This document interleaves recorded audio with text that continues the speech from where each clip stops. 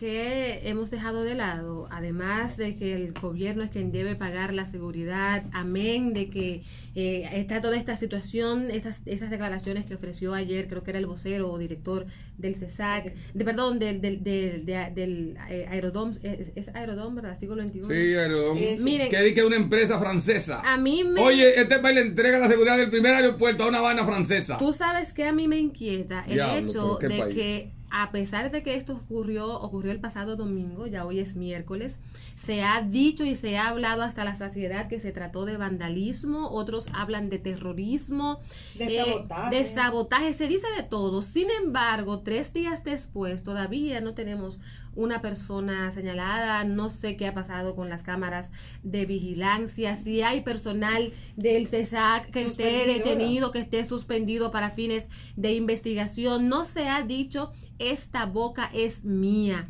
para que la ciudadanía, no, no, óyeme, yo creo que decir que todos los aeropuertos son inseguros, a mí incluso me parece irresponsable. Pero claro. Pero todavía más irresponsable que a tres días de que tantos dominicanos y extranjeros que vivieron esa experiencia para tratar de llegar a suelo dominicano, que se le distorsionó la llegada, que tuvo que, que tuvieron que quedarse en otros aeropuertos, que el que iba para, que, que, vin- que vinieron de Puerto Rico para República Dominicana tuvo que devolverse y 15 vuelos eh, eh, eh, eh, distorsionados me parece a mí que, que como que ha pasado mucho tiempo para que no se detenga por lo menos una información que los medios manejemos que nos digan mira ya hay tantos detenidos eh, se ha interrogado tantas personas estamos indagando las cámaras de seguridad o sea porque si estamos hablando de vandalismo a mí me parece que también hay una asociación de malhechores ahí y reiteramos am- tiene o por lo menos yo tiene que haber alguien desde dentro que ayudó y que apoyó Claro. porque no hay manera o sea es que no es que usted Además, hay una, hay una verdad. a ti te, o sea, tú entras al aeropuerto y es como que tú. La o verdad sea, es la inseguridad. Es una vigilancia. Claro. ¿Qué es lo que te vas a robar, Sí, mijo? O, sea, sí. o sea, por Dios. No hay, hay, No- hay lugares que tú no puedes transitar. no puede entrar allí. No puede pasar por No, allí. sí. No puede tampoco pasar. Esa es su área. O sea, todo es verdad. No puede, no puede, no puede. Entonces, ¿cómo en un área tan sensible se van a robar los cables y nadie se va a dar cuenta? Señores, y de noche, ¿tú sabes lo que.?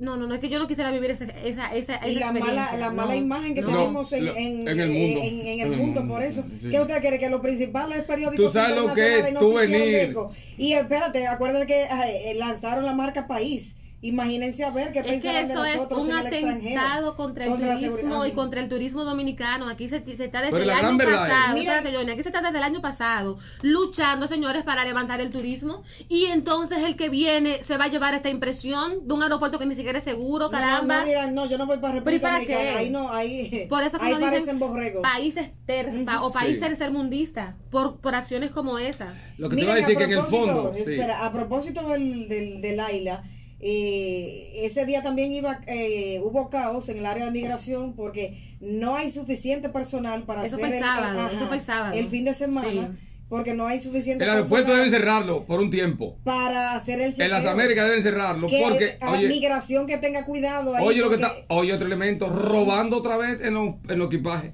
Ese aeropuerto debe ser intervenido debe y ser- cerrado. eso Cerré el aeropuerto de las Américas, que quiera viajar, que venga por Santiago, hasta que esa casa la arreglen. Ladrones de robo de equipaje. Aquí están las llamadas. Aquí están las llamadas de los afectados. Y No, hay y los invento. videos también y los videos. Y, y ustedes vieron lo que pasó esa noche. La noche de los de los de, de, de, de- del supuesto sabotaje. Que quieren disfrazar eso, ¿eh? Eso, eso va más allá de ahí. Y abrieron las maletas y no hay un preso. ¿Dónde están los ladrones? Lo fueron a buscar a la ciénaga para llevarlo ahí. Están ahí adentro. Lo- todo, todo lo que pasa ahí están ahí adentro. Todavía están ahí. Entonces, así no se puede. Permíteme de manera Sí. breve, por favor, decir eh, o, o señalar, eh, los residentes de la ciudad Juan Bosch, muchos me han, me han escrito a través de Patricia Pérez TV en Instagram diciéndome que hay una situación que se está dando. Ayer estuvo el director de la casa y, luego que vieron la entrevista, entonces ahí se, se animaron a, a escribir el señor Fellito Superví, que muy amablemente aceptó nuestra invitación. Y ellos tienen una situación, Johnny, porque tú sabes que en el gobierno de Luis Abinader, el, el proyecto habitacional Ciudad Juan Bosch era la niña linda del gobierno. Sucede que en esta en este gobierno como que lo han dejado un poquito de lado, como que bueno, yo ahora voy a desarrollar mi propio proyecto habitacional con la alianza público-privada. Sucede, señores, que hay un conflicto porque supuestamente la Corporación del Acueducto y Alcantarillado eh, quiere abastecer o está tratando o buscando la forma de cómo abastecer con agua al sector o al barrio La Ureña, que queda supuestamente como cerca contigo de la ciudad Juan Bosch, entonces los residentes se oponen porque dicen que tienen que buscar otra vía, otras tuberías, otros mecanismos que no les afecte a ellos porque están asegurando que el agua o la presión con la que llega el agua no será igual o que en su defecto no les llegará. Ellos no tienen problema de agua ahora y los residentes de Ciudad Juan Bosch sienten que si esto se da, incluso las maquinarias están ahí, están haciendo excavaciones para el tema de la conexión de las tuberías y todo eso, pero ellos están negados. Durante varios días, creo que el lunes y martes han estado realizando encendidos de velas para llamar. Se realizó una precisamente y hoy a las 3 de la tarde, pues van a hacer una, una marcha. Una marcha, ¿desde dónde hasta dónde? ¿Sabes dónde? Para... No, eh, solamente tengo entendido que en el sector. En el sector, porque ellos quieren buscar la manera de llamar la atención de la Corporación del Acueducto y Alcantarillado y sobre todo fijar de manera férrea su posición, su posición tajante de que no quieren compartir su agua, si se quiere decir de esa manera, porque ellos están bien y entonces, porque para, eh, ¿cómo que dice un dicho? Para, para, para, vestir un muerto. Para desvestir otro. Gracias, Johnny Vázquez. Para vestir un muerto hay que desvestir otro. Por eso que esa experiencia tuya no improvisa. Tú me estás entendiendo. Eso es así, es el, el, el, el, cosa del pueblo. Mira, el domingo, que es el Día de las Madres, es día de tres cosas. Sí. Día de las Madres, Día de la Libertad y Día del eh, Ajusticiamiento. ¿Por qué el Día de la Libertad?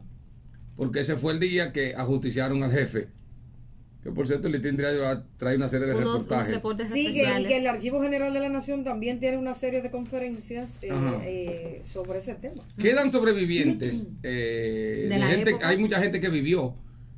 conozco a alguien que era compadre, aún vive, de Trujillo, era compadre. Se usaba eso para también garantizar la vida. Ah, bueno, y todavía quedan familiares de Trujillo. otra cosa. Yo he hablado con una sobrina hace como unos meses atrás, unos seis ah, meses. Ah, sí. Ahí está el mausoleo, está el mausoleo de Trujillo en el cementerio Máximo Gómez, cuando tú llegas, fue la primera tumba que se hizo ahí, porque el cementerio viejo era este, de la, aquí de la Independencia, declarado patrimonio